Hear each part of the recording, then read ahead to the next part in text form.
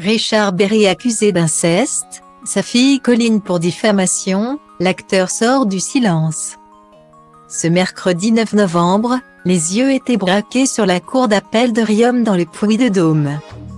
Attaqué en diffamation par Jeanne Manson, l'ex-compagne de son père Richard Berry qu'elle a accusé comme lui de viol et agression sexuelle sur mineurs de 15 ans par ascendant et de corruption de mineurs.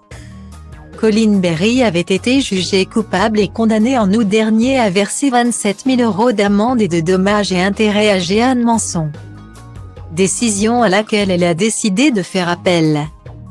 Pour rappel, Colin Berry avait dénoncé les agissements de son père et de son ex-compagne à son égard entre 1982 et 1986. Affirmant avoir été la victime de jeux sexuels du couple, une enquête avait été ouverte pour agression sexuelle sur mineurs de 15 ans par ascendant à l'égard de Richard Berry et de corruption de mineurs de 15 ans pour Jeanne Manson.